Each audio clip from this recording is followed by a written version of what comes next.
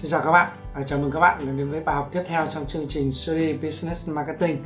Tôi, tôi là Phan Anh, à, giảng viên, rất vui được chia sẻ những kinh nghiệm và kiến thức về Business Marketing và khởi nghiệp của tôi trong một năm đi làm. Bài học hôm nay thì tôi sẽ chia sẻ về một cái nội dung có tên là bán hàng theo mô hình cộng tác viên hoặc là bán buôn, xây dựng đội ngũ cộng tác viên, xây dựng hệ thống. Ở nội dung của bài học này thì nó nhấn mạnh vào cái từ khóa là xây dựng đội ngũ cộng tác viên bán hàng đến khi mà các bạn làm kinh doanh các bạn đạt được một cái quy mô nào đó hoặc là các bạn cảm thấy là hàng hóa mình sản xuất ra mình sẽ cần đến nhiều người bán hàng. Ngoài những công cụ mình đã lựa chọn thì mình có thể sẽ sử dụng thêm mình sẽ sử dụng thêm cái kênh là phát triển cộng tác viên. Đấy. phát triển cộng tác viên đây là như nào? À, cách thức ra sao và hình thức như nào thì tôi sẽ chia sẻ với các bạn. À, thứ nhất là mô hình cộng tác viên tức là à, mọi người sẽ lấy hàng của mình bán hàng cho mình mà mình không phải trả lương cứng cho cộng tác viên.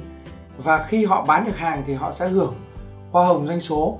Thí dụ như là tôi bán một cái điện thoại này cho bạn tôi sẽ hưởng 10% hay là tôi bán một cái áo này cho bạn tôi sẽ hưởng 20% Đấy, thì lúc này bạn giống như vai trò là một người bán buôn à, bạn là nhà sản xuất thậm chí bạn lại đi nhập lại của người khác cái chuyện đó tôi không quan tâm.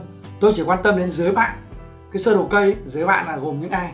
Đấy thì bạn phải có một hệ thống cái cộng tác viên như này. 5 người, 10 người, 20 người, 100 người thì để người ta sẽ lấy hàng của bạn người ta bán.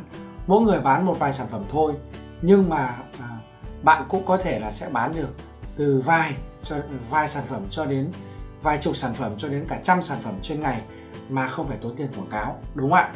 Thì cái hệ thống cộng tác viên như này bạn xây bằng cách nào? Thì hệ thống này bạn có thể xây bằng cách là tìm kiếm và trao những cái lợi ích cho những cái cộng tác viên. Đấy và các bạn có thể ép một cái doanh số nào đó hoặc là không ép doanh số tùy vào cái chiến lược. Hoặc là bạn có thể sử dụng phương pháp đào tạo.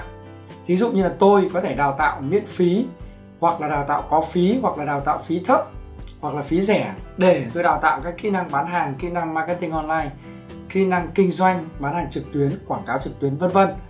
Để đổi lại các bạn sẽ phải bán hàng của tôi. Các bạn sẽ phải lấy sản phẩm của tôi để các bạn bán hàng. Các bạn hiểu ý tôi không ạ? Đấy, thì như vậy tôi sẽ có hệ thống từ hàng chục cho đến hàng trăm cái người bán hàng cho tôi và các bạn phải tính cái nguyên tắc là trừ lùi thí dụ như là bạn đào tạo ra 100 người thì bạn hãy tin rằng là chỉ có 10 người khoảng 10% đến 20% là sẽ làm cái việc đó cho bạn một cách thực thực thụ đó. Thế thì vì thế chúng ta sẽ phải muốn có 50 người bán hàng thì chúng ta sẽ nhân lên. Chúng ta sẽ phải đào tạo là gì ạ? Có thể lên tới là 400 đến 500 người. Đấy, hoặc là chúng ta càng muốn có hệ thống cộng tác viên rộng rãi bao nhiêu thì chúng ta cần phải à, tuyển nhiều người vào. À, tất nhiên là cái cơ chế tuyển cộng tác viên thì nó sẽ có hai cách. Cách thứ nhất là cộng tác viên tự do thích bán nào thì bán không bán được thì thôi không ép. Cách thứ hai là ép một cái doanh số nhỏ nhỏ và thúc đẩy thúc đẩy các cái doanh số đúng không ạ? Và cách thứ ba là gì ạ? Ốp doanh số hoặc là à, ốp phải lấy hàng. Đấy, thì lúc đấy là tự các cái cộng tác viên này đã trở thành cái đại lý cấp dưới của chúng ta rồi thế thì cái hình thức cộng tác viên mà tôi muốn nói đến đấy là cái hình thức mà à, có vẻ như là không sử dụng vốn và phải đào tạo cho họ phải cung cấp cho họ hết cái bộ sale kit đúng không? Cái bộ sale kit đấy là gồm gì? Ví dụ như sản phẩm là gì? À, thông tin về sản phẩm hình ảnh video giá bán danh thiếp vân vân để họ cứ thế là họ post họ post post lên trang cá nhân facebook zalo này nọ họ bán cho chúng ta. Và chúng ta tưởng tượng có hàng nghìn người bán hàng là chúng ta như vậy thì rất là ok. Các bạn hiểu ý không ạ? Thế thì tôi nói đến đây thì các bạn có thể phát triển hệ thống cộng tác viên bán buôn, phát triển hệ thống cộng tác viên bán lẻ, hoặc là phát triển hệ thống ờ, cộng tác viên là buôn nước bọt, hoặc là affiliate bán hàng trực tuyến. Đấy. affiliate là hình thức marketing liên kết, được chưa? Thế nếu mà các bạn mà đang chưa có sản phẩm gì bán, thì các bạn hãy liên hệ với tôi, là giảng viên Phan Anh. Để cho các bạn tìm giảng viên Phan Anh hoặc là số điện thoại của tôi 0989 623 888 thì tôi sẽ cấp cho các bạn rất nhiều các mặt hàng đặc biệt là các mặt hàng digital, tức là các cái sản phẩm số hóa, các bạn không phải bỏ vốn.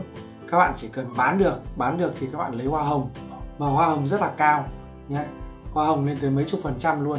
Các sản phẩm số hóa là như thế nào? Ví dụ như là các khóa học online, hay là các phần mềm, đấy, hay là âm nhạc, thì như vậy người ta gọi là các sản phẩm số hóa. Ok, thì vừa rồi tôi vừa hướng dẫn cho các bạn là cái ý tưởng về cách các bạn sẽ phát triển ở đội ngũ cộng tác viên của mình và chúng ta sẽ phải à, tìm càng nhiều càng tốt đúng không ạ? Tìm trên trang cá nhân tìm trên group tìm trên các cái trang diễn đàn. Sau đó chúng ta sẽ thu thập thông tin đào tạo và hướng dẫn bán. Và chúng ta cứ phát triển phát triển phát triển như vậy.